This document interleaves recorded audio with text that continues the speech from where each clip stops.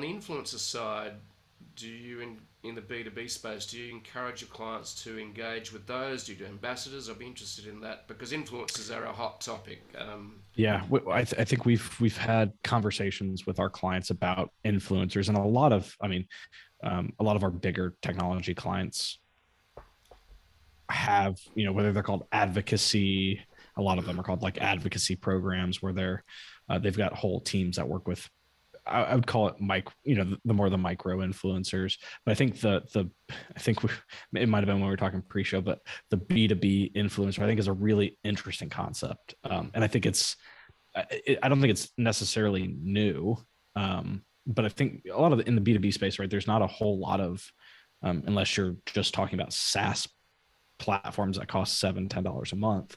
There's not a whole lot of like discount codes or referral like there's not a whole there's the, the ecosystem for those referral um, concepts don't exist because you're selling a hundred million dollar data center right? That like yes i'll take 25% of that thank you. Um, but eh, so i think it's interesting to see how companies are thinking about approaching it and whether that's um, i know uh, years ago before they split hp had an advocacy team and program and software around how they manage their advocates and what templates and tools and tricks they gave them to reach out to their sort of groups of uh, or spheres of influence mm.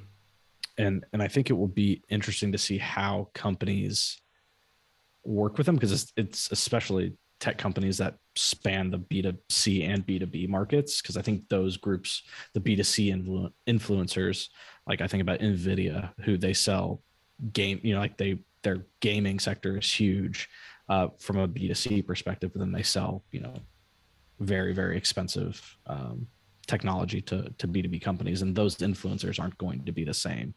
No, no, they won't be. And, and the challenge with an ambassador type of program is it's um, how do you scale that in terms of how do you actually engage? Do You have to create tech for it. Um, so, um, yeah, that's interesting.